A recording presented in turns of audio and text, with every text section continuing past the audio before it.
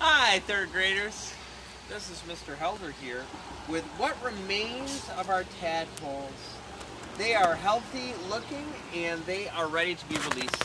As you know, we've seen a lot of tadpoles die recently and some of the frogs that we had didn't make it either and we thought, you know what, we are at a point where it's warm enough and uh, we think it's good to release them. So here I am at Plaster Creek, beautiful Plaster Creek located in, in Alger Heights, and we're gonna go down to the side of the river, or the creek, and we're gonna let them go.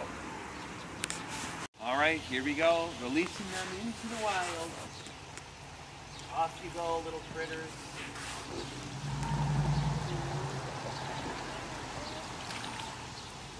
Goodbye.